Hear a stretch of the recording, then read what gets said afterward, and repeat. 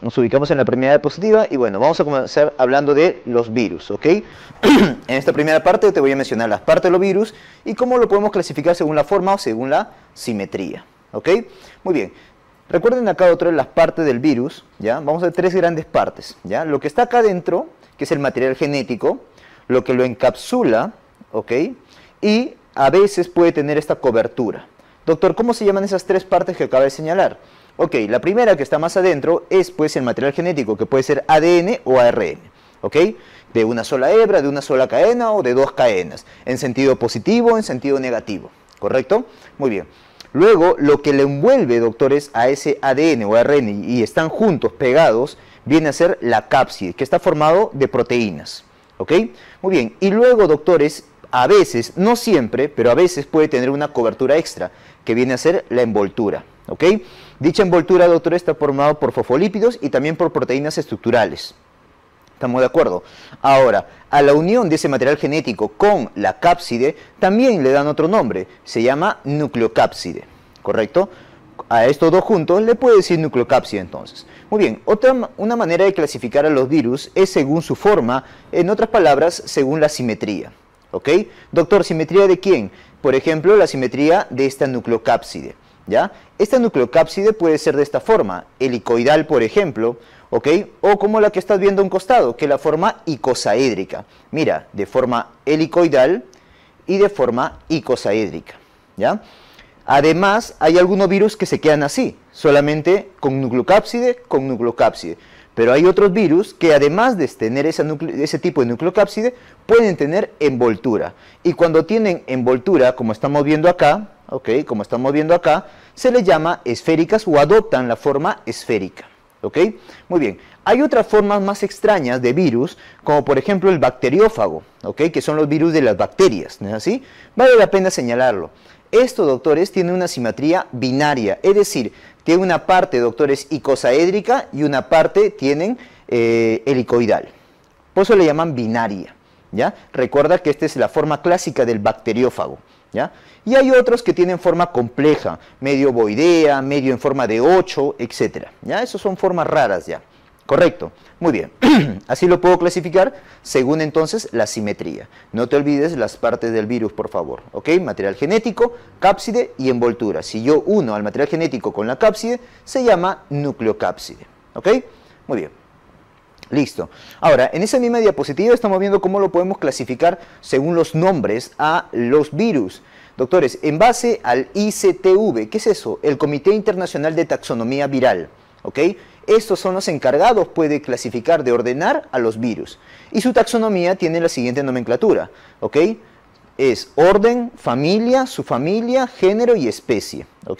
A cada uno de esos nombres, ya sea orden, familia, su familia, género o especie, le ponen un sufijo. Por ejemplo, si estamos hablando del orden de unos virus, serían virales. ¿correcto? Familia, si termina en viridae, ¿ya? Le pones ese sufijo. Su familia, le pones el sufijo virinae. Género, le pones el sufijo virus. Y especie, le pones ya el nombre completo. Por ejemplo, virus del dengue, virus de la rabia, así. ¿Correcto? Muy bien, listo. Esa es la taxonomía, ¿ya? Para que identifique. Doctor, ejemplos. Ejemplos lo vamos a ver en un momento, ¿ok? Muy bien. Otra manera de clasificar a los virus, doctores, es según la clasificación de Baltimore. ¿Ok? Muy bien, dicha clasificación de Baltimore se basa en el material genético. Doctor, pero no es simplemente que sea ADN y ARN, no, además de ser, de tú clasificarlos como ADN o ARN, también puedes clasificarlo qué dirección tiene el material genético. Si la dirección del material genético es hacia la derecha, entonces es un positivo. Si va hacia la izquierda, es negativo. Doctor, pero ¿cuándo le dicen derecha, izquierda? O sea, ¿cuándo yo digo que es positivo o negativo, respectivamente? Ok, tú dices que va hacia la derecha, es decir, positivo, porque sigue la misma secuencia del ARN mensajero, o sea, puede ser leído por una ARN transferencia. ¿Ok? Bueno, así se determina la clasificación de Baltimore, ¿ok? En la cual tenemos esta de acá. Ponlo ahí, por favor. ¿Ok? Miren, la primera clase, que es ADN de doble cadena, como estás viendo ahí. ¿Ok? Para cada imagen tiene su propio nombre. Clase 2, que es ADN, en celeste, en azul, de una sola cadena. La clase 3 es ARN de doble cadena. Date cuenta que uno está en sentido positivo y el otro está en sentido negativo. ¿Ya? Muy bien. El otro es la clase 4. La clase 4 se puede dividir en dos tipos, clase 4A y clase 4B. ¿Ok? Los dos son ARN monocatenarios, o sea, una sola cadena, dirigidos hacia la derecha. ¿Estamos de acuerdo? la clase 5, doctor, alguien me puede preguntar, doctor, ¿y cómo diferencio la clase 4A y 4B? Ok, la clase 4A eh, es mucho más complicado, eso lo vemos en las clases teóricas, no en las fijas. Pero más o menos te lo voy a decir de la siguiente manera. La clase 4A, doctores, es cuando este material genético, que es un ARN en sentido positivo, o sea, puede ser leído, es leído para proteínas estructurales pero además tiene que aparte producir otro ARN mensajero para producir otro tipo de proteínas, proteínas funcionales. ¿ya? En cambio, 4, la clase 4b, a partir de este ARN mensajero, se puede leer, se puede traducir de frente en proteínas estructurales y funcionales. Esa es la diferencia. ¿ok? Muy bien. La clase 5 es ARN también monocatenario, pero mira, en sentido negativo. ¿ok? La clase 5, mira, está dirigido a la izquierda. La clase 6 es ARN monocatenario en sentido positivo, slash ADN. Doctor, ¿qué significa eso? Ok, que este ARN, ok, monocatenario, primero tiene que pasar a ser un ADN y luego este ADN se incorpora en la célula huésped. ¿Ok? Doctor, eso me hace recordar un virus. ¿A qué virus? Al VIH. El VIH justamente es un clase 6. ¿Ok? Muy bien. Y la clase 7 es cuando tiene ADN, doble cadena, ¿ok? que luego tiene que convertirse en otro ADN para recién convertirse luego en ARN mensajeros y ser leídos. ¿Estamos de acuerdo? Muy bien, espero que lo hayas entendido. La clasificación de Baltimore. ¿Qué te podrías acordar de acá, doctores? ¿Cuáles, qué clases de Baltimore son de ADN y cuáles son de ARN? Yo preguntaría eso. Por ejemplo, la clase 1, la clase 2 y la clase 7 son de ADN. Los demás, es decir, del 3, 4A, 4B y 5 son ARN. Date cuenta, los que están en el medio son ARN y los que están en los extremos son ADN. ¿Ya? Muy bien. Bueno, esa es la clasificación de Baltimore. Muy bien. Acá en esta siguiente imagen, doctores, vamos a recordar la secuencia para una replicación del virus. ¿Correcto? Muy bien, recuerden que los virus no son seres vivos en sí, ¿ok? Son parásitos, bueno, parásitos entre comillas, ¿ok? Son parásitos intracelulares los virus, así puedes definirlo, ¿ok? Es decir, para que estos se multipliquen, para que estos se repliquen, necesitan llegar a una célula huésped. ¿Estamos de acuerdo? Y sigue, una vez que llega a esta célula huésped, hay una secuencia de pasos que tiene que seguir. Ya, esas son las fijas que tienes que recordar. ¿Ok? Muy bien, por acá vamos a ver cómo llega este virus y esta es la célula hospedadora, ¿ya? Veamos la secuencia. Fácil. Uno, el reconocimiento, es decir, llega el virus con su proteína, por ejemplo, una envoltura, ¿ok? Y esta, doctores, se une a su receptor. Por ejemplo, del SARS-CoV-2, ¿te acuerdas? Que es el receptor AC2, ¿ok? Muy bien. Luego, una vez que se reconoce, se va a unir, ¿ok? Muy bien, se unen, mira acá por ejemplo, o acá por ejemplo, se unen, ¿ok? Una vez que se une, se unen estos dos, ahora va a entrar. Hay dos maneras como puede entrar, ese es el paso 3. Hay dos maneras como puede entrar. Puede entrar por fusión, es decir, la membrana, la envoltura del virus se fusiona con la, con la membrana de la célula hospedadora o de repente penetra, entra envuelta por la, por la célula hospedadora. Esa es penetración. ¿correcto? Por endocitosis se le llama eso, ¿ok? Muy bien, listo. Paso 3. Paso 4. Una vez que ya está dentro de la célula, el paso 4 es que se rompa la envoltura, se libere de la envoltura. Pérdida de la envoltura. Si la tuviera, obviamente. ¿Ok? Muy bien. Luego, el paso 5 es que se transcriba. Ese material genético, ¿ok? Ese ARN tiene que transcribirse. Doctor, si era un ADN, si era un ADN, tiene que pasar a ARN y luego transcribirse. Entonces el paso 5 es transcripción, ¿ya? La formación de ARN mensajeros. Una vez que se produce estos ARN mensajeros, se tienen que leer y la lectura te va a dar el siguiente paso, la síntesis de proteínas virales. ¿Ok? Muy bien, ahora estas proteínas virales, ¿ok? se van a juntar, algunas son funcionales incluso, y van a ir también para la síntesis, el siguiente paso, replicación del genoma. este genoma, ¿ok? Se tiene que replicar, formar nuevamente.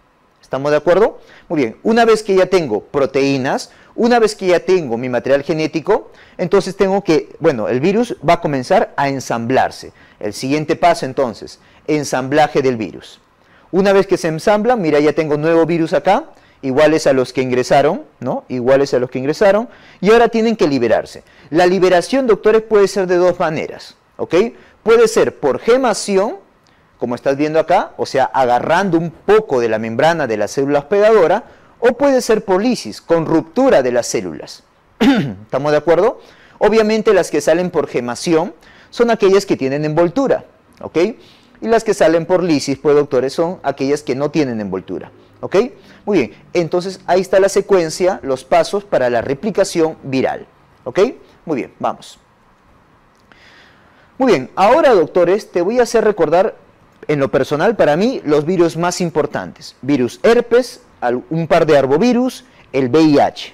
¿Correcto? Estos son virus muy importantes, ¿ya? Lo hemos visto bastante en teoría, así que son preguntables en ciencias básicas. Entonces recordemos, vamos a ver de cada uno de ellos, ¿ok? A qué familia, a qué género pertenecen y qué especie es, o sea, su nombre, ¿ya? Y también, doctores, a qué clasificación de Baltimore corresponde. Por lo tanto, vamos a reconocer qué tipo de virus es, ADN o ARN. ¿Estamos de acuerdo? Comencemos con el virus de herpes. ¿ya? Esta familia de virus herpes, doctor, ¿qué tipo de virus es? Es un virus del tipo ADN, no te olvides. Por lo tanto, ¿a qué clasificación de Baltimore corresponde? Ah, doctor, debe ser 1, 2 o 7. Sí, pertenece a la clase 1, ¿ok? Pertenece a la clase 1, ¿ya? Date cuenta que he puesto esta imagen. Significa que tiene envoltura. Jala una flecha acá. Tiene envoltura, ¿ok? Muy bien, doctor. ¿A qué familia pertenece? Ok, los virus herpes pertenecen a la familia de herpes viridae. Mira cómo termina en viridae, ese sufijo. ¿Ya? Por eso es familia. Ahora, esta familia se va a dividir, doctores, en tres subfamilias. ¿Ok? Los alfa herpes virinae, los beta herpes virinae y los gamma herpes virinae. ¿Correcto? Los alfa herpes virinae a la vez se dividen en dos géneros, simplex virus o varicelo virus. El simplex virus además se divide, doctores, en dos, el virus herpes simple tipo 1 y el virus herpes simple tipo 2. El varicelo virus es solamente uno, que es el tipo 3. Por si acaso, este tipo 3, ponlo ahí, también llamado virus de la varicela zoster, ¿correcto? No te voy a hablar de enfermedades ahorita, ¿ya? Tú ya sabes qué enfermedades son, ¿ya? Estamos en básicas. Muy bien, ¿qué más, doctor? Esta de acá, los beta herpes virinae. Eh, beta herpes virinae. Estos se dividen en dos tipos. Los citomegalovirus, ¿ok? Recuerda que termina en virus. Y los rociolovirus, ¿ok? Muy bien. Este citomegalovirus es el virus herpes humano número 5, también llamado citomegalovirus, ¿ah? el nombre de la especie, por si acaso. El otro son los rociolovirus, ¿ya? Su mismo nombre lo dice qué enfermedad causa, ¿no? Ahí tenemos al 6 y al 7. ¿Qué te van a dar? Pues la rociola, ¿no es así? Muy bien. Ahora tenemos el gamma, el gamma herpes virinae, ¿ok? Este gamma herpes virinae se divide en dos tipos, los linfocriptovirus y los radinovirus. Los linfocriptovirus es el virus herpes humano número 4, también llamado, ponlo ahí, virus Epstein-Barr virus Epstein-Barr, ¿no? que te da la famosa mononucleosis infecciosa. ¿ya? Y este gamma también se divide en radinovirus, ¿ok? que te va a dar, o que está dentro de ahí, el virus herpes humano número 8. También llamado, ponlo ahí también, también llamado virus relacionado al sarcoma de Kaposi. ¿Ya? Obviamente, en pacientes con VIH te van a dar justamente esa neoplasia más frecuente en VIH, que es sarcoma de Kaposi. ¿ya? Muy bien, estos son virus herpes. Otro virus importante son los arbovirus. Obviamente hay más arbovirus. Acá te he traído dos nada más. ¿Ok? Tenemos más, ¿ok? Arbovirus. Pero te he traído dos. ¿Cuál? El virus de la fiebre amarilla y el virus del dengue. ¿Correcto? Muy bien. Esto, ¿por qué se llaman arbovirus? Se llaman arbovirus porque están transmitidos por un vector artrópodo. En este caso, dicho artrópodo, doctores, va a ser pues el mosquito. ¿Qué mosquito? Jale una flecha, lo reconoces, ¿no? Mira este mosquito. ¿Qué mosquito es? el famoso Aedes aegypti. Aedes aegypti, ¿ok?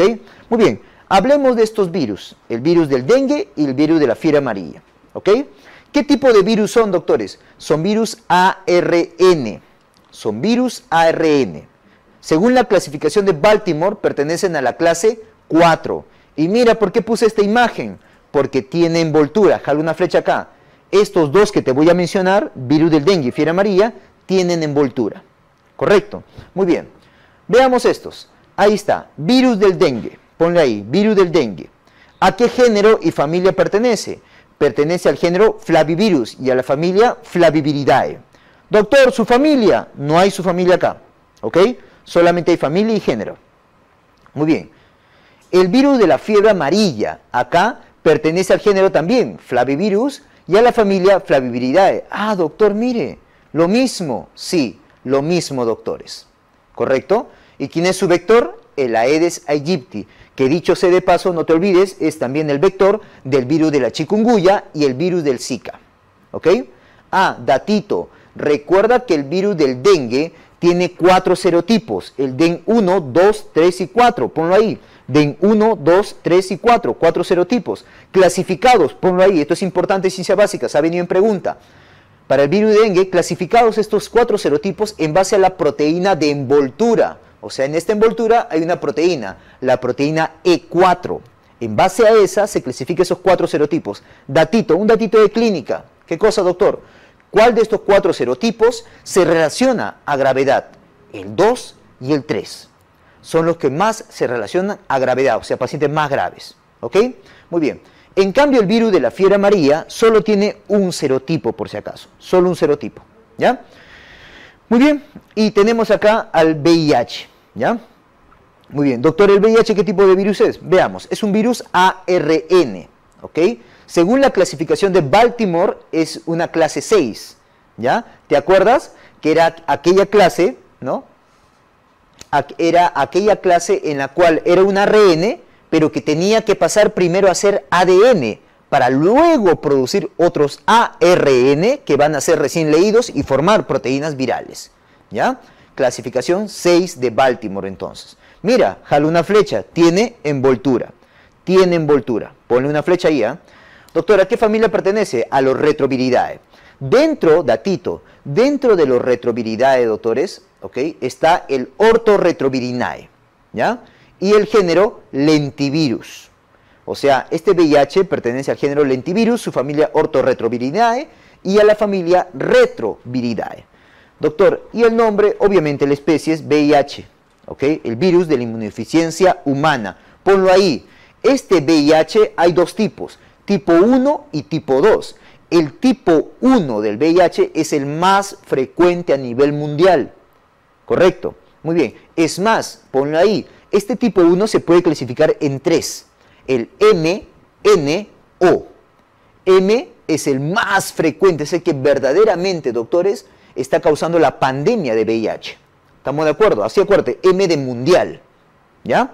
El otro es menos frecuente es el N y el O. ¿Ya? Muy bien, estos son algunos virus entonces.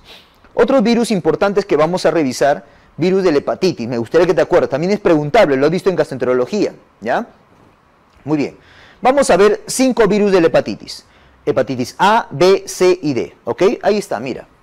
Hepatitis A, B, B, C, D y E. Doctor, ¿por qué lo pone así? Me gusta ponerlo así porque, escucha bien, A y E lo pongo arriba porque tienen algunas características similares.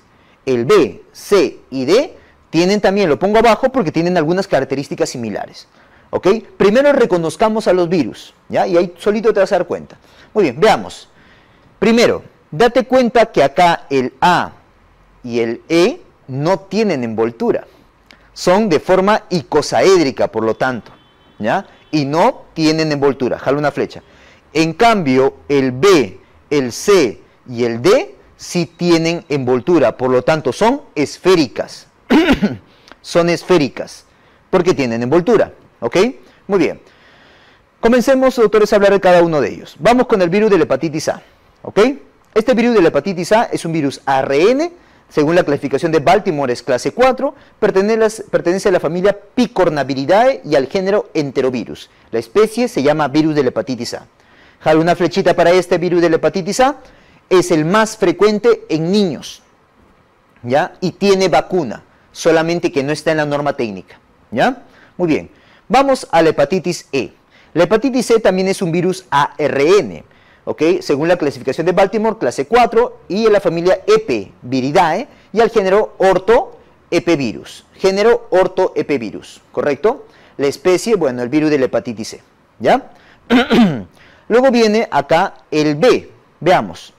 El B es el único de estos cinco, escucha, escucha, es el único de estos cinco que es ADN. ¿Ok? Por lo tanto, pertenece a la clasificación 7 de Baltimore, su familia Hepatviridae y su género Orthohepatnavirus. ¿ya? Ese es el virus de la hepatitis B. El virus de la hepatitis C, doctores, que también tiene envoltura, obviamente, este es un virus ARN clase 4, Flaviviridae y género Hepacivirus. ¿ya? Y la D es un virus ARN también, clase 4, Colmioviridae, algunos le ponen ese, y género Deltavirus. Correcto. Y el virus de la hepatitis D es su nombre, su especie. ¿Ya? Doctores, ahora sí, miren, date cuenta. Primer dato importantísimo, una fija. ¿Cuál de estos cinco es ADN, el virus de la hepatitis B? ¿Cuál de estos cinco no tienen envoltura y son icosaédricas? Los que están arriba, el A y el E. ¿Cuáles son esféricos? Porque sí tienen envoltura, B, C y D. ¿Ok? Doctor, ¿También por otras cosas lo puso de esa manera? Sí, por otras cosas. Mira, el A y el E tienen transmisión vía oral, fecalismo, principalmente. Claro, hay casos reportados de transmisión parenteral, pero lo principal es transmisión vía oral. Otro dato importante, en comparación al B, C y D, su transmisión es parenteral sexual. ¿Ok? Otra diferencia, doctores, otra diferencia. El A y el E el A y el E, no suelen cronificar, por lo tanto no son oncogénicas, ¿ok? En lo general estoy hablando, porque hay casos reportados, sí, efectivamente, pero estoy hablando en general. El A y el E no cronifican, por lo tanto no son oncogénicas. En cambio, el B, C y D sí son, sí cronifican y por tanto sí también son oncogénicas. Mira la diferencia, qué bonito, ¿ok? Un datito más, ¿Cuál de estas cinco hepatitis es la más frecuente post-transfusional? Datito, no te olvides, el C es el más frecuente post-transfusional. ¿Ok? Muy bien, ¿qué más? Doctor, ¿cuáles son los que, el que más cronifica? De 100 personas con hepatitis B y 100 personas, escucha bien, ¿ah? y 100 personas con hepatitis C, ¿cuál es el que más cronifica? El que más cronifica es el C. O sea, tiene más riesgo de cronificación. Pero en población en general, ¿quién es el que más lleva cronicidad? El B. En población en general, porque el B es más frecuente. Por eso. Pero si yo comparo el riesgo de cronicidad del B con el C, el C le gana. Según el Harrison, 80% del C te llevan a cronicidad. En cambio, un 5 a 10% del B te llevan a cronicidad. ¿Te das cuenta? Ok. Otro datito, otro datito, otra fija. ¿Cuál de estos cinco doctores, ok, depende de otro? El E, el D, discúlpame, el D recuerda que depende del B.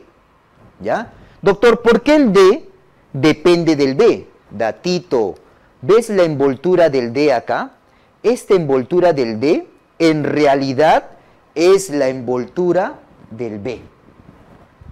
¿Correcto?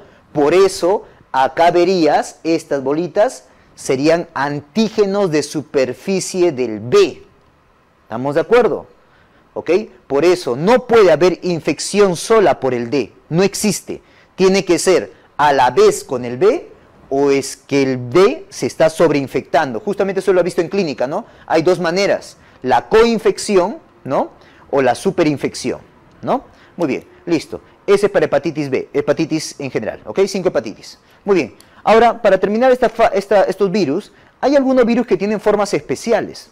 Si a ti te dicen, doctores, si a ti te dicen forma de rueda, virus en forma de rueda, ah, eso, doctores, es eh, rotavirus, justamente por su nombre. rotavirus, forma de rueda, ¿ok? No te olvides, rotavirus es un virus ARN, por si acaso, ¿ya? Datito, datito. Su vacuna es de la cepa RIX, con R también, ¿ya? Ok, ¿quién tiene virus en forma de bala? El virus de la rabia, virus de la rabia. Recuerda que el virus de la rabia también es un virus ARN, ¿ok? Es un neurotropo, ¿no? Género lisavirus, ¿ya? Muy bien. Y algunos que son de esta forma, mira, por ejemplo, una forma medio eh, como si fuera un gusanito, ¿ya? Virus en forma filamentosa, discúlpame, virus en forma filamentosa, ese es el virus del ébola, por ejemplo, ¿ya? Virus del ébola, ¿ya? Muy bien, listo. Pasemos ahora a hablar, doctores, de bacterias, ¿ya? Muy bien, antes de hablar de bacterias tienes que reconocer qué tipo de célula es una bacteria. La bacteria es un ser vivo. Entonces, ¿qué tipo de célula es? ¿Es eucariota o es procariota?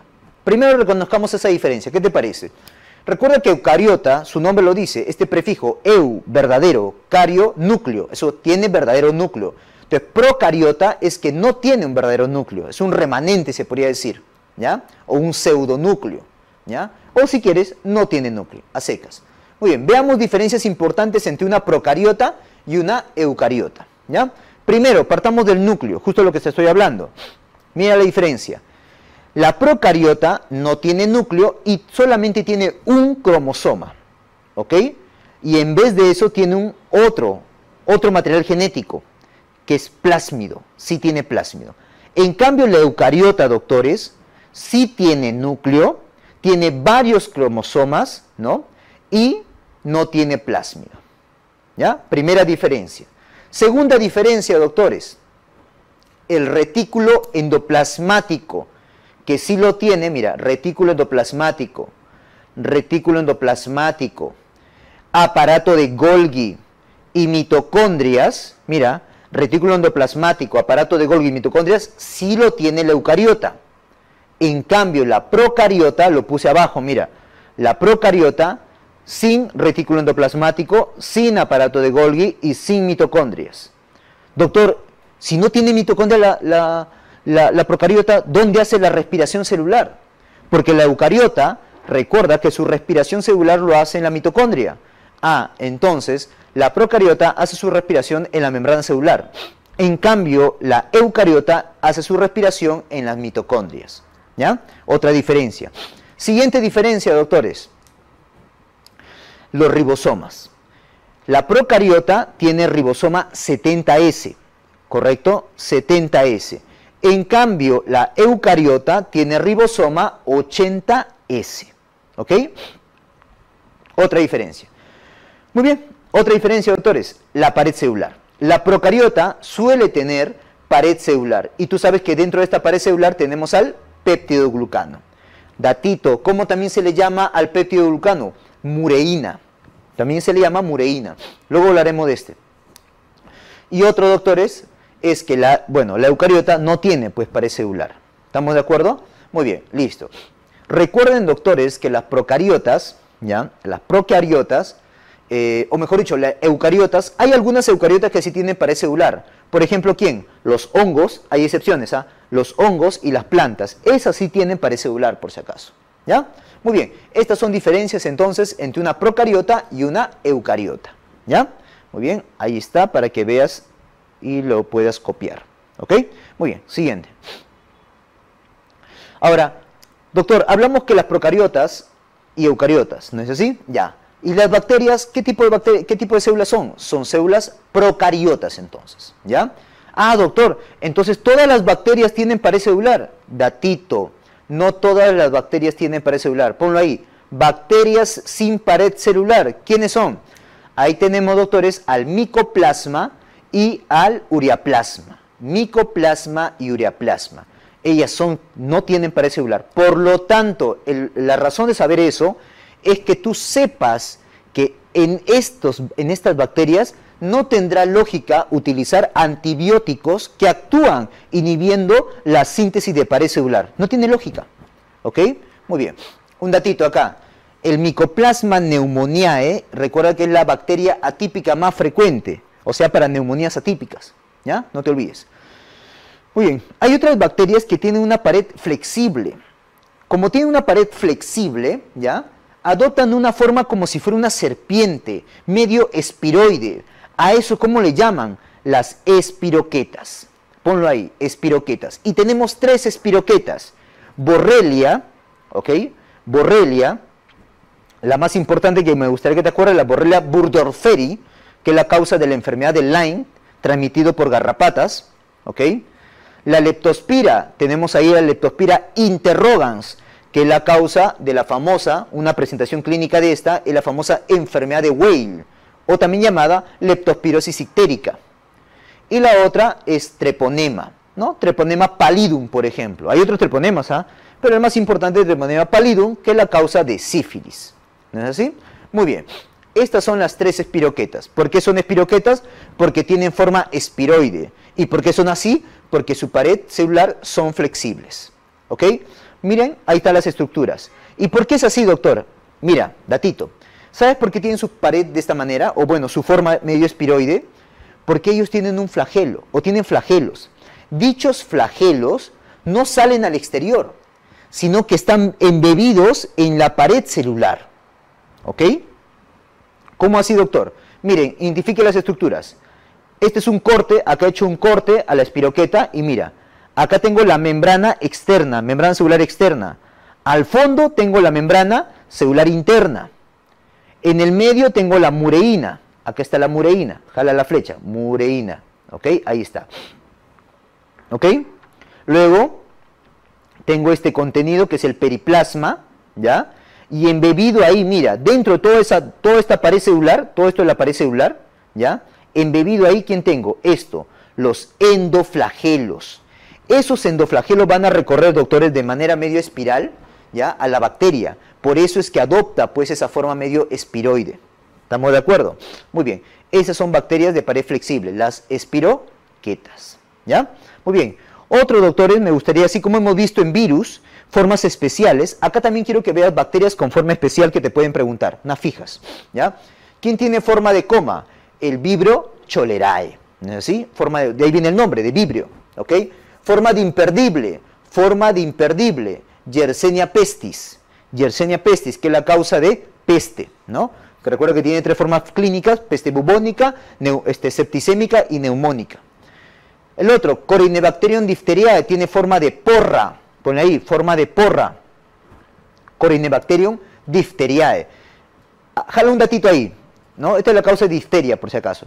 Jala un datito. Este Corynebacterium diphtheriae, doctores, claro, tiene forma de porra, pero cuando tú lo juntas varios, da un aspecto como letras chinas, ¿ya? Aspecto de letras chinas. Otro, en forma de palillo de tambor. Eso es el Clostridium, ¿ya? Clostridium, en forma de palillo de tambor, ¿ya? Ah, un datito, me acordé, un datito, una fija. ¿Cuáles son las bacterias gran positivas, bacilos, que son doctores que forman esporas? Apúntalo, dos, me acordé justo por esto. Clostridium es un esporulado junto al bacillus. El bacillus, tipo bacillus anthracis, por ejemplo, o bacillus serius, por ejemplo. ¿Ya?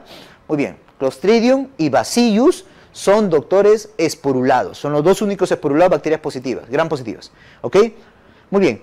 Otra manera de clasificar doctores a las bacterias es según la tinción de Gram. ¿No es así? Muy bien. Y la tinción de Gram, doctores, yo puedo tener de este color, medio azulado, medio violeta, ¿no? Y de este color, medio rosado o rosa. Cuando sale violeta o azul, ese es gran positivo. Ponlo ahí, gran positivo. Pero si es rosado, es gran negativo. ¿Ya? Muy bien. Ahorita vamos a ver las diferencias entre ellos. Pero quiero que recuerdes acá las formas. Cuando yo te diga, por ejemplo, en, el estudio de un líquido cefalorraquídeo, si yo te digo cocobacilo gran positivo, listeria monocitógenes. Si te digo cocobacilo gran negativo, Haemophilus. En ese caso sería Haemophilus influenza tipo B. Si te digo diplococo gran positivo, piensa en streptococo pneumoniae, también llamado neumococo. Y si te digo diplococo gran negativo, ahí piensa en Neisseria. ¿ya? Estos son positivos y estos son negativos. ¿ya? Muy bien. Muy bien, ahora sí veamos diferencia entre un gran positivo y un gran negativo. Primero la coloración, ponlo ahí. El gran positivo, doctores, da una coloración violeta azulado. El gran negativo es una coloración rosa. ¿Ok? Muy bien. El gran positivo, ponlo ahí, tiene una pared muy simple. ¿Por qué simple? Porque está formado por algunas estructuras nada más. Miren, acá está la membrana celular y todo esto es la pared celular. Jale una flecha. Todo esto es la pared celular. ¿Ok? Y esa gran pared celular tiene una gran capa de péptidoglucano. Mira, tremenda capa de péptidoglucano, también llamado mureína. ¿Ya? Además está embebido con proteínas tipo ácido lipoteicoico y ácido teicoico. Nada más. Ese es el gran positivo. ¿Ok? En cambio, el gran negativo sí tiene una pared celular más compleja. ¿Ya?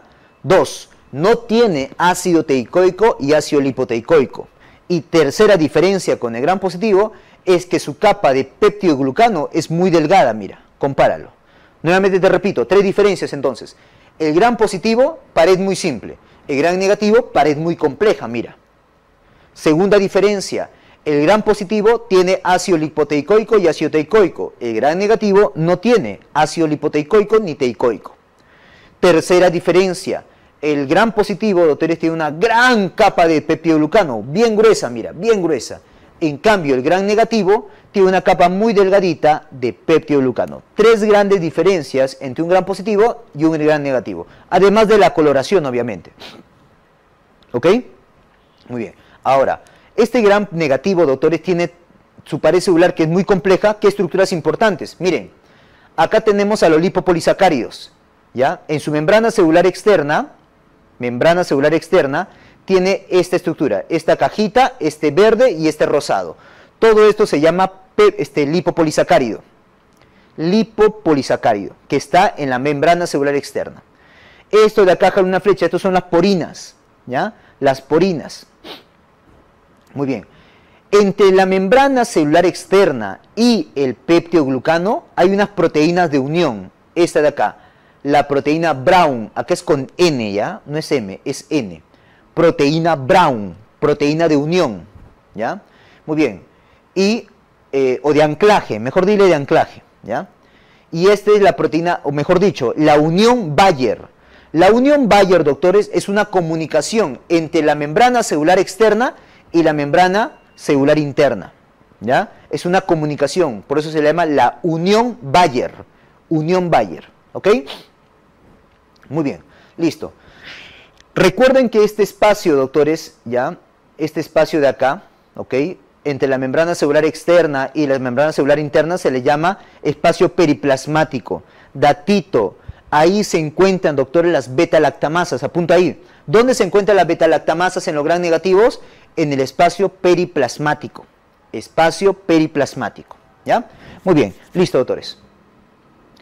Ahora pasemos a hablar de protozoarios o bueno, de parásitos, ¿ya? Y primero vamos a hablar de esto, de los protozoarios. Te lo he puesto de una manera fácil de recordar, ¿ya? Te he puesto acá todos los protozoarios, mira, todos los protozoarios que conozco, ¿ya? Vamos a ver que los protozoarios se pueden dividir en cuatro tipos, ¿ya? Tenemos a los flagelados, a las amebas, esporozoos y al único cilióforo, que es el Balantidium coli, ¿ya? Rápidamente, doctores. Miren, eh, Trichomona vaginalis, ¿ya? Rápidamente. Identifica estructuras, por favor, ¿ya? Vamos a ver acá sus formas biológicas y vamos a ver también sus formas infectantes y la transmisión, ¿ya? Trichomona vaginalis, ¿qué forma biológica tiene? Solamente tiene trofozoito, ponle la T de trofozoito.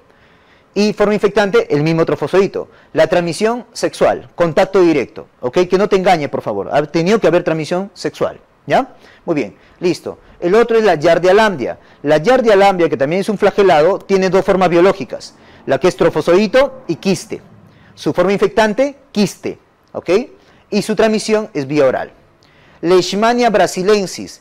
La leishmania, doctores, tiene dos formas. La forma, ponlo ahí, eh, promastigote, promastigote y amastigote. ¿Ok? Su forma infectante es promastigote. Y la transmisión es a través de su vector. ¿ya? Si estoy hablando de leishmania, estoy hablando de, entonces, lutzomia. ¿ya? Acá la imagen tiene que ser de lutzomia, por favor. Acá está mal, ¿ya? Esta imagen que está acá, este es lutzomia, me he equivocado. esta imagen ponla acá, ¿ya? Este no es luxomia, luxomia está acá abajo, ¿ya? Este de acá tiene que ser acá, ¿ya? Luxomia. Y esta imagen, bájala, ¿ya? La bajas, ¿ya? ¿Ok? Ese es el anófeles. Bueno, ya. Leishmania entonces tiene dos formas. Promastigote, amastigote y su forma infectante promastigote y su vector, corrige ahí, el vector es luxomia, ¿ya? Pasemos a tripanosoma. Tripanosoma cruzi. El tripanosoma cruzi tiene tres formas biológicas, que es el tripomastigote, epimastigote y amastigote. ¿Ya? Mira, tripomastigote, epimastigote y amastigote. ¿Ya? Y la forma infectante es el tripomastigote, ¿correcto? La forma infectante. Su vector es el chirimacha, bananón, es decir, el triátomo infectans. Triátomo infectans. Negleria fobleri la Negleria fugleri, doctores, tiene dos formas, la forma de trofozoito y la forma de quiste. La forma infectante es la forma de trofozoito. Pone la T nomás, ¿ya? Y que ingresa por dónde? Mira, ingresa por vía aérea superior. Pregunta examen. Ingresa por vía aérea superior, por la mucosa nasal. Esos son flagelados. Pasemos a mebas. Tenemos entamoeba, acantamoeba y balamutia. La entamoeba histolítica tiene dos formas, trofozoito y quiste trofozoito y quiste. Su forma infectante es la forma quística, quiste. Y su eh, eh, transmisión es vía oral. ¿ya? Acantamueva. La acantamueva también tiene forma de trofozoito o forma de quiste. Su forma infectante, trofozoito. Y puede ingresar por la vía aérea superior, mira la imagen, vía aérea superior, o por la piel. Y agrégale un tercero acá. También puede ingresar por, ojito. Cuando ingresa por ojo, te hace, por ejemplo, la mm, queratitis, queratitis por acantamueva, ¿ya? La balamutia, mandrilaris. La balamutia también tiene trofozoito y quiste. La forma infectante la forma de trofozoito. También ingresa por vía aérea superior o por piel, ¿ya? Pasemos a los esporozoos. Ahí tengo las coccidias. Mira, acá no me voy a complicar, ¿ya? Porque he puesto varias imágenes igualitas, repetidas. Ah, ya significa, no me voy a complicar porque son un montón de estadios ahí, ¿ya? Ponle, tiene varias formas biológicas nada más, ¿ya? No, no es acotación ahorita, claro, en la clase teórica sí lo hablo, pero acá no es importante mencionarlo, ¿ok? Lo que sí es importante es su forma infectante, o quiste, forma infectante o quiste, ¿ya? Ingresa por la vía oral. Igual toxoplasma, mira, tiene un montón de formas biológicas, ponle ahí, varias formas biológicas, pero la forma infectante es la forma de o quiste, igual ingresa por la vía oral. O quiste, ingresa por la vía oral. Plasmodium.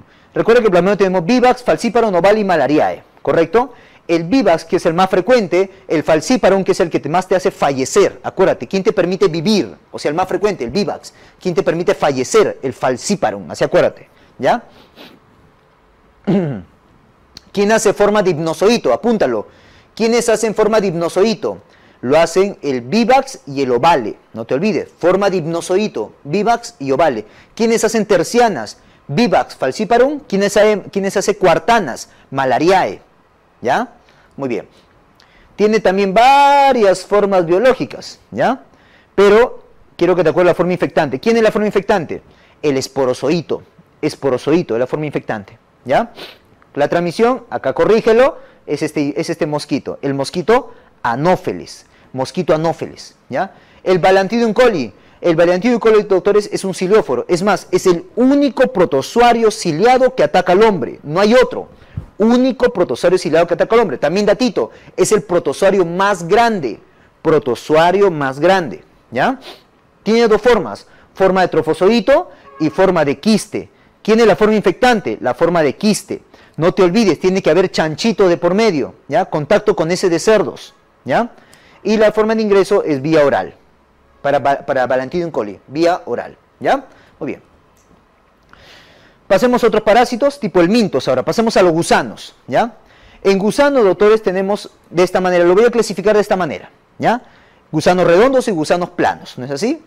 Gusanos eh, redondos, o sea, nematodes. Tengo dos tipos, los nematodes intestinales y los nematodes tisulares. ¿Ya? Y abajo vamos a ver los gusanos planos, los platelmintos, tipo céstodes o tipo tremátodes. Los céstodes también llamados tenias o los tremátodes también llamados duelas. ¿Ya?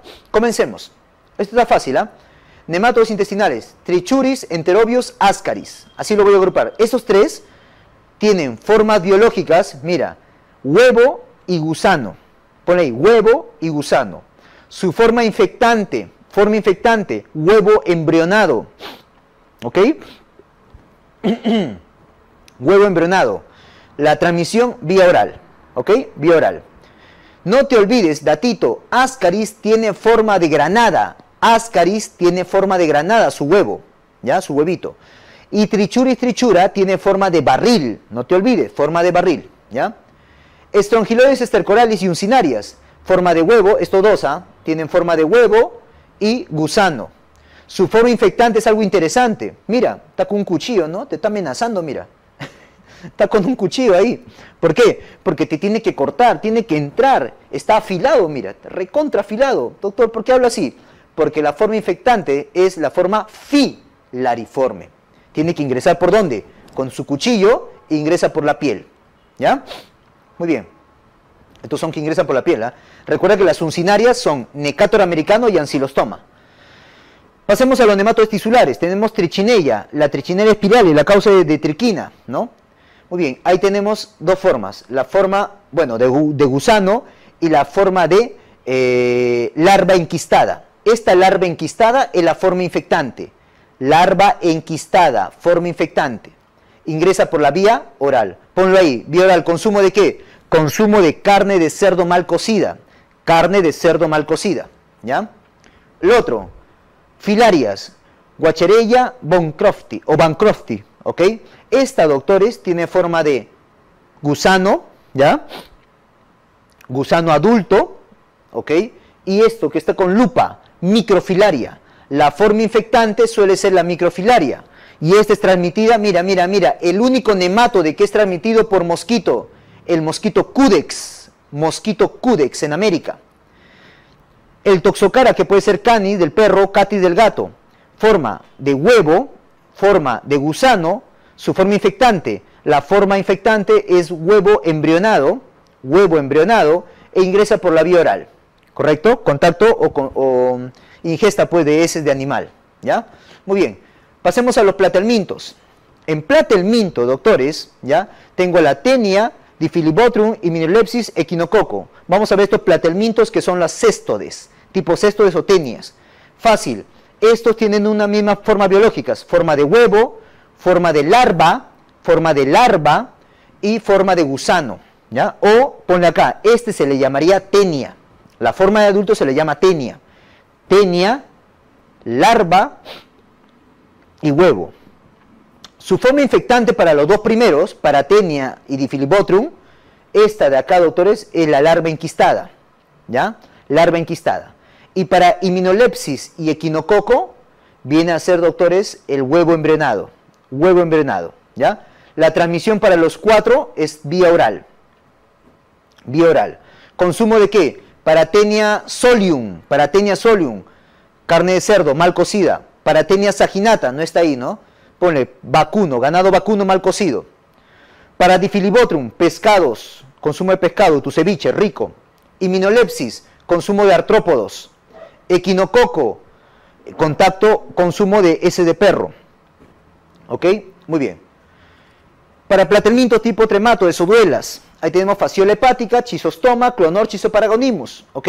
Muy bien, esos, los cuatro, tienen forma de huevo, forma de larva y forma de duela. Duela es esto, duela. ¿Ya? ¿Quién es la forma infectante? La forma infectante es la forma de larvita. ¿Ok? Y ingresan fasciola, ingresa por vía oral. Chisostoma ingresa por piel, por piel. Y eh, clonorchis y paragonimus por vía oral. ¿Consumo de qué, doctor? Acá, para fasciola, no te, no te olvides, consumo los berros, berros. La transmisión para chisostoma, estar nadando en agua de río, estar nadando en agua de río porque tiene que ingresar por piel. Eh, para clonorchis, consumo de pescado. Y para paragonimus, consumo de cangrejos. No te olvides. Date cuenta quiénes ingresan por piel. Mira, ¿quién ingresa por piel? Estrongiloides y uncinarias. Y chisos toma, no te olvides, ¿ok? Muy bien, esos son los parásitos, ¿ok? Muy bien. Muy bien, doctores, vamos a continuar entonces y ahora vamos a ver, ok, farmacología, ¿ya? Toca la parte de farmacología. Bueno, acá vamos a recordar rápidamente cosas puntuales, ¿ya? Ya hemos visto lo que es la replicación, ¿no? La secuencia en la replicación del, del virus. Hay ciertos antivirales que actúan, pues, en algunos puntos de esta replicación. Entonces te voy a recordar algunos de ellos, me parece los más importantes que pueden ser preguntables y por lo tanto vistos acá en las fijas, ¿ok? Muy bien, por ejemplo, aquellos que van a inhibir la penetración. ¿Quién podría inhibir eso? Interferón alfa, por ejemplo, ¿no? ¿Ok? Que tú lo utilizaste o tú lo has visto, por ejemplo, utilizado, ¿dónde? En hepatitis, ¿ya? ¿Qué más, doctor? Aquellos que inhiben la pérdida de cobertura. ¿Se acuerdan que acá había una pérdida de envoltura o de cubierta? Ya, ahí actúa la amantadina y la rimantidina, ¿ya? Otro, por ejemplo, aquellos que inhiben la síntesis de ácido nucleico. Ahí tenemos un montón de antivirales, ¿ok? Por ejemplo, aciclovir, valaciclovir, fanciclovir estos tres, ok, jalo una flecha, utilizados para virus herpes simples, ok, utilizado para los virus herpes simples y también para el virus de la varicela zoster, ¿ya? O sea, para los alfa herpes virinae, ¿te acuerdas? Muy bien. Ganciclovir, valaciclovir y foscarnet también actúan inhibiendo la síntesis de ácido nucleico. Ganciclovir, valgalciclovir y foscarnet. Doctores, estos tres, jalo una flecha, utilizados para quién? Para citomegalovirus, por ejemplo. Se utiliza bastante para citomegalovirus, virus herpes humano número 5. Y también tenemos ahí a los inhibidores nucleósidos de la transcriptasa reversa e inhibidores no, nucleósidos de la transcriptasa reversa que se utiliza, por ejemplo, en VIH. ¿Ok? Inhibe la neura, neuraminidasa. ¿Ok? Los que inhiben la neuraminidasa, ahí tenemos al oseltamivir. ¿Utilizado para quién? Para influenzas. ¿Ok? Utilizado para influenza. Lo importante, doctores, de los antivirales, ¿ya? aparte de conocer algunos mecanismos de acción, es también saber cuándo lo utilizo o en qué tipo de virus lo voy a utilizar. Por eso te he resaltado o te he dicho en qué virus se utiliza. ¿ya? Veamos ahora, doctores, ¿ok? los antibióticos. Creo que lo importante es recordar por lo menos, doctores, qué mecanismo de acción tenemos. ¿ok? Entonces, con estos esquemas vamos a recordar a los antibióticos y sus mecanismos de acción. ¿ya? Por lo tanto, también vas a reconocer si son bacteriostáticos o bactericidas, ¿ya? Aquellos que inhiben la síntesis de pared celular, doctor. Ah, ya, rápidamente. Miren, doctores. Primero te vas a ubicar, ¿ya? Acá, doctores, tenemos a la membrana celular, ¿ya? A la membrana de la bacteria. Por acá tenemos el citoplasma, ¿ok? De la bacteria. Y acá, en la parte externa, se va a ir formando el péptido glucano, o sea, la pared celular. ¿Estamos de acuerdo? Para dicha pared celular, es decir, para el péptido glucano, también llamado mureína, ¿ya? necesitamos ladrillos. Estos ladrillos que van a formar el péptido glucano están formados por dos partes. Mira, el ladrillo tiene dos partes. Una parte verde, que es el N-acetilglucosamina, y otro que es el N-acetilmurámico. ¿Correcto? Estos dos se juntan y forman los ladrillos con los cuales yo voy a formar o se va a formar la mureína o el péptido lucano. ¿Ya? ¿Estamos de acuerdo? Muy bien, comencemos entonces. Estos componentes, estas dos cosas, se van a, formar dentro de la bacteria. Primero se forma, doctores, el verde, el N-acetilglucosamina, a partir del cual se va a formar N-acetilmurámico. Correcto, gracias a la enolpiruvato transferasa. Luego, este N-acetilmurámico, este amarillo, ¿ok? se le va a unir un pentasacárido. En esas uniones de, pen, discúlpame, un pentapéptido, lapsus un pentapéptido. En estas uniones de péptidos, el último que se une, el quinto, es el de alanina. Pero antes de ser de alanina, primero fue L-alanina. Entonces, en el último paso de esa unión, de ese pentapéptido, ¿ya? bueno, el quinto péptido, ¿ya? es el de alanina, que primero fue L-alanina. ¿ya? De L-alanina tuvo que pasar a ser D-alanina, y este D-alanina, ¿ok? Recién se une a los cuatro péptidos que ya se habían unido, para formar el pentapéptido, que se une al N-acetilmurámico. ¿Ya? Muy bien, ah, entonces ahí está, mira. Primero L-alanina pasa a ser D-alanina y luego este D-alanina se une al N-acetilmurámico. Para que de esa manera, ese era el quinto, pues, quinto pentapéptido. Ahí está. ¿Ya? Muy bien. Ahora, este de acá, N-acetilmurámico, tiene que unirse a quién? Al bactoprenol. Y el bactoprenol está acá, mira. Este BP es el bactoprenol. Este bactoprenol, ¿ya? Está con una P. El P es de fósforo. Acá está monofosfato. Tiene que pasar a ser difosfato. Bactoprenol difosfato para que pueda unirse con el N-acetilmurámico junto al pentapéptido, ¿ya? Mira, bactoprenol más el N-acetilmurámico. Ahora, este bactoprenol, ¿ya? Este bactoprenol lo que va a hacer es llevarlo. Ahí está, mira, primero se une al N-acetilglucosamina. Ahora sí, mira, se formó el ladrillo, el ladrillo verde y amarillo, ¿correcto? Muy bien. Y este ladrillo verde amarillo, ¿ok? Va a pasar, doctores, va a ser llevado por el bactoprenol, ¿ok? Hacia la parte externa. El bactoprenol lo lleva a este ladrillo. Ladrillo formado por dos partes, junto a ese pentasacárido. Ahora, este ladrillo se va a unir a la cadena de mureína, a la cadena de ladrillos. Mira, hay una cadena por acá, por acá hay una cadena, una cadena, una cadena, una cadena, una cadena, y ahí este se va a unir. ¿ya? Ese proceso de unión a la cadena, ¿ok? Se llama transglucosidación. Se une, mira, se une a la cadena, ¿ya? Pero así como hay una cadena acá, mira, acá hay una cadena, ¿ya? Imaginariamente, ¿ya? Acá arriba también hay otra cadena, imaginariamente. En esas dos cadenas, acá y acá, tiene que unirse. En esas cadenas tiene que unirse. Esa unión se llama transpeptidación. ¿Ya? Cuando se une, mira, ahí que hay una cadena arriba y acá hay una cadena abajo, ya. Se tienen que unir entre los pentasacáridos. Eso se llama transpeptidación. ¿Correcto? Muy bien. Y así, pues, doctores, se va formando la pared celular. ¿Estamos de acuerdo? Muy bien. Una vez que conoces esto, ahora sí, veamos los mecanismos de acción de aquellos que inhiben la síntesis de pared celular rápidamente. Ah, me olvidaba. Este bactoprenol que había brindado el ladrillo, ¿ya? Tiene que regresar. Pero al meterse al meterse pierde un fósforo. Eso se llama desfosforilación. Es importante ese proceso, ¿ok? Muy bien, listo. Ahora sí, rápidamente. ¿Quién, yo puedo inhibir el enol piruvato transferasa? Sí, con la fosfomicina. Con la fosfomicina yo bloqueo al enol piruvato transferasa. Dos, este proceso de pasar de L-alanina a D-alanina y luego la D-alanina unirse al N-acetilmurámico, lo puedo bloquear con la cicloserina con la cicloserina. ¿Ya? Muy bien.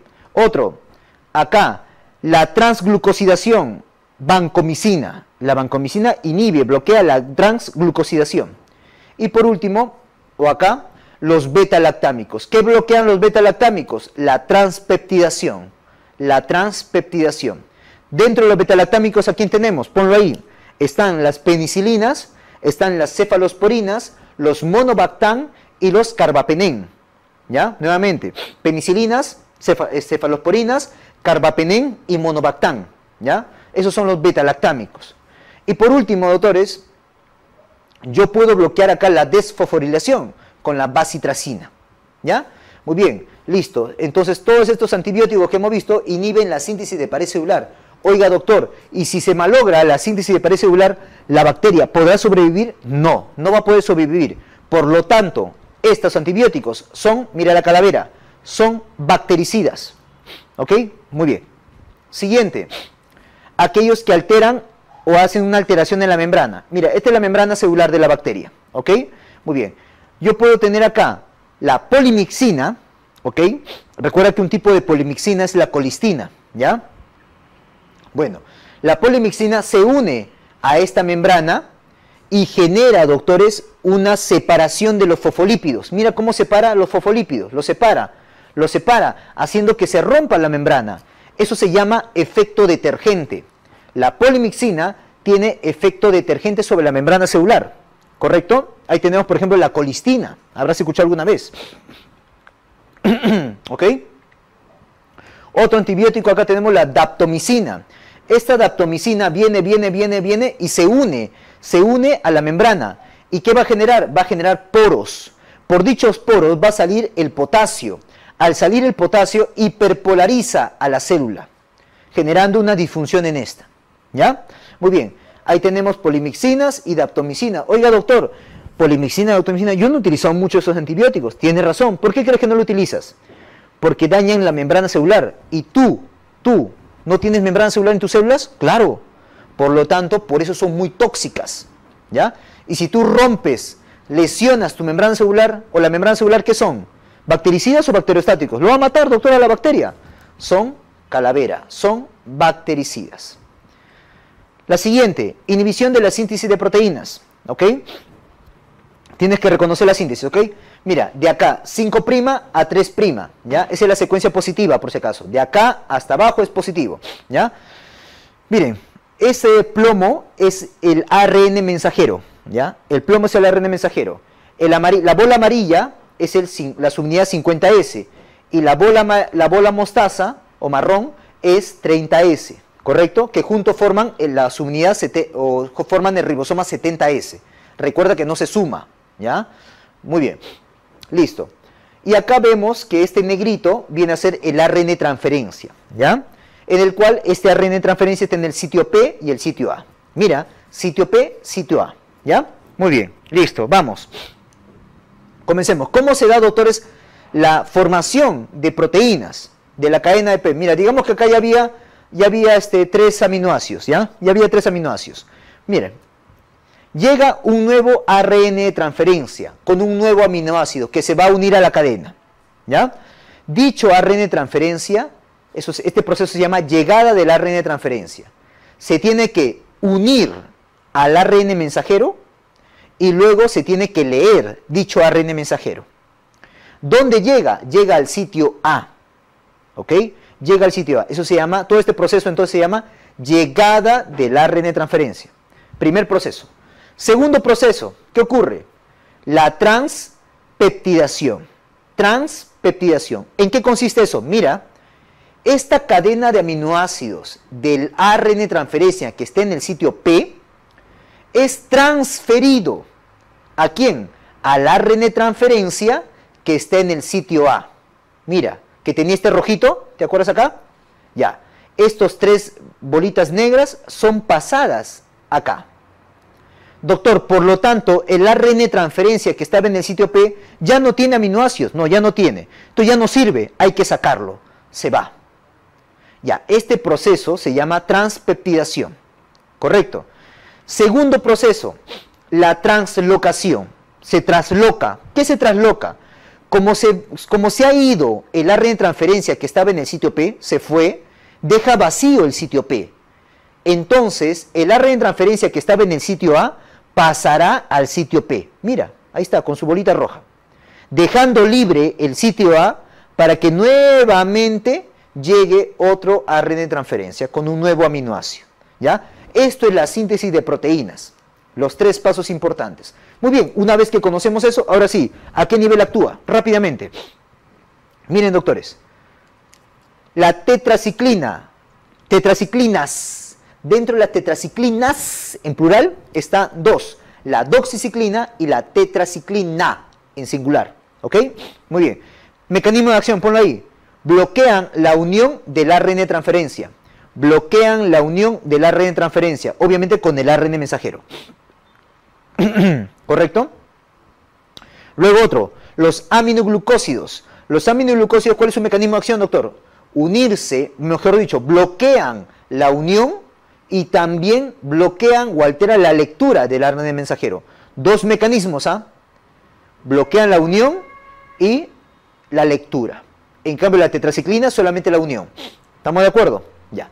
Doctor, estos dos antibióticos vienen por este lado. Vienen por la subunidad 30S. Allá. Actúan sobre la subunidad 30S. Tetraciclinas y aminoglucósidos. ¿Ok? Muy bien. La 50S, ¿quiénes actúan en ese nivel? Por ejemplo, cloranfenicol. Cloranfenicol lo que hace es bloquea la transpeptidación. Bloquea la transpeptidación. El otro, los macrólidos y las estreptograminas. Estreptograminas, ¿qué hacen? Bloquean la translocación. Como vienen por este lado, actúan sobre la unidad 50S. ¿Ya? Nemotecnia para esto, ¿no? ¿Te acuerdas? Es una mnemotecnia medio, medio maleada, ¿ya? Pero ojalá te sirva, ¿ya? Rápidamente. Mira, Digamos que un niño está caminando en la calle, ve una ventana abierta y una dama está que, bueno, eh, vistiéndose, digamos, ¿ok? Y el niño, pues, chismoso, comienza a ver, ¿no? La señora, la dama, se da cuenta y comienza a gritarle al niño. Y le dice, oye niño, a mí no me expectes, no me estés mirando, las tetraciclinas, ¿ya? ¿Ok? A mí no me expectes las tetraciclinas, ¿ya? Doctor, ¿qué está hablando? Ya. Amino de aminoglucósidos, tetraciclinas, ¿ok? Ya, bueno, no voy a decir eso, pero es tetraciclinas, ¿ya? Muy bien, listo. Doctor, pero yo me confundo. Tetraciclina aminoglucósido puede ser la unidad 50. ¿Cómo sabe que es la unidad 30? Agarra este 3 y échalo. ¿Qué parece? Doctor, parece tetraciclinas. Ya, está bien. Ojalá me hayas entendido. Muy bien, vamos. La 50. 50 todo tiene L. Todo tiene L. 50 en romanos es L. Cloranfenicol tiene L. Ponle acá también, agrégale ahí. Lincosamidas tiene L. ¿Ok? Lincosamidas. Macrolidos tiene L también. Ahí las excepciones son las estrotograminas, por si acaso. ¿Ya? Linesolit. Linesolit tiene una tremenda L. También actúa sobre las unidades 50. ¿Ok? Muy bien. Estos doctores, como actúan inhibiendo la síntesis de proteínas, ¿qué son? Son simplemente bacteriostáticos. Mira, una bacteria durmiendo, la, duerme a la bacteria. Bacteriostáticos, ¿ok? Pero, datito, de todos estos hay dos que son bactericidas. ¿Quién? Los aminoglucósidos y las estreptograminas son bactericidas. Si a ti te preguntan, así, ¿ah? los antibióticos que actúan inhibiendo la síntesis de proteínas, ¿qué son? Ah, son bacteriostáticos. Pero si te preguntan específicamente aminoglucósidos y estreptograminas, estreptograminas son bactericidas. ¿Ya? Muy bien. Ahora aquellos que inhiben la síntesis de metabolitos y ácidos nucleicos. ¿Ya? Muy bien. Tenemos por acá cómo se van a ir eh, se van a sintetizar los metabolitos. Tengo la teridina y el PABA, ¿ok? La teridina y el ácido, ácido amino parabenzoico, ¿correcto? Muy bien. Este, gracias a la dihidro, sintetasa, se forma el ácido dihidropteroico. Este, gracias al, se formará, mejor dicho, el ácido dihidrofólico y gracias a la dihidrofolato reductasa se forma el ácido tetrahidrofólico. ¿Correcto? Luego este forma las purinas y las pirimidinas. Fácil, ¿ok? Muy bien. Luego, estas purinas y pirimidinas servirán pues para la síntesis de ácidos nucleicos, ¿no? Ahí tiene que ver la DNA girasa, se va enrollando y da el ARN polimerasa también. ¿Ok? Muy bien, son enzimas que interactúan acá en la síntesis de ácidos nucleicos. Ya, muy bien, todo este proceso, mira. Primero síntesis de metabolito, tipo purina, pirimidina, y luego la síntesis de ácido nucleico. ¿Ya? Vamos a ver antibióticos que actúan a este nivel. Aquellos que inhiben la síntesis de metabolitos. Ahí tengo, por ejemplo, las sulfonamidas. Ponlo ahí las sulfonamidas bloquean a la dihidropteroato sintetasa, las sulfonamidas. Trimetropina bloquea la dihidrofolato reductasa, ¿ok? O sea, a este nivel y a este nivel, ¿correcto? Ahora, ¿estos qué son? Son bacteriostáticos, pero datito, datito, si tú juntas estos dos en un solo fármaco llamado cotrimoxazol, tu famoso Bactrin, se convierte en un bactericida. Separados son bacteriostáticos, pero si tú juntas sulfametosazol más trimetropin, en el famoso cotrimoxazol, se convierte en bactericida. ¿Ya? Ten cuidado. Muy bien. Por este lado, aquellos que inhiben la síntesis de nucleicos. ¿Quién bloquea la DNA girasa? Quinolonas. Bloquea a la DNA girasa, no te olvides. ¿Qué más? La rifampicina. Rifampicina bloquea a la RNA polimerasa. La rifampicina bloquea a la RNA polimerasa.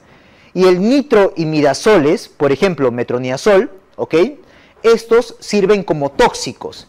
Estos nitroimidazoles, ¿ok? Por ejemplo, el metronidazol, ¿ya? El metronidazol, por ejemplo, este metronidazol entra a tu cuerpo, tú lo consumes, se forma un metabolito y ese metabolito se une al ADN y se vuelve tóxico, o sea, lo, destruye, lo lesiona. ¿Ya? Es un efecto directo. ¿Ok? Muy bien. Tengo mi mnemotecnia también para que te acuerdes acá estas, ¿ah? Estas tres de acá. ¿No? ¿Ok? Mira, tú recuerdas, no, te molestes, ¿ah? me voy a disculpar, ¿ah? me estoy disculpando, ¿ah? discúlpame, ¿ah? muy bien. Mira, ¿te acuerdas de Ricky Martin? ¿No? Ya, ok. Mira, Ricky, Ricky, ok, ¿se viste bien, sí o no? Se acicala, se viste bien, bacán, chévere. Ok, Ricky es un metro, ¿ya? Obvio, ¿no? Es un metro, se viste muy bien, está bien acicalado, ok, ¿ya? Es un metro. Y lo tiene bien metido en su ADN. ¿Estamos de acuerdo? ¿Como doctor? No entiendo. Ya. Ricky es un metro y lo tiene bien metido en su ADN. ¿Ya? Muy bien. ¿Ricky de qué? Rifampicina. Ki de quinolonas. ¿Ok? Nitroimidazol, o sea, metronidazol, de metro, metronidazol. ¿Ok? ¿Y cómo yo me acuerdo dónde actúa? Lo tiene bien metido en su ADN. O sea, altera la síntesis de ácidos nucleicos. ¿Ya? Y ahí te tendrás que acordar que la quinolona actúa en la DNA girasa y la rifampicina en la RNA polimerasa. ¿Ok? Muy bien, doctores. Listo. Y estos que son, como alteran la síntesis de nucleicos, obviamente son bactericidas. Son bactericidas. ¿Ok? Muy bien. Muy bien, doctores. Listo. Hasta ahí entonces lo que es ciencias básicas de infectología. ¿Ok? Muy bien.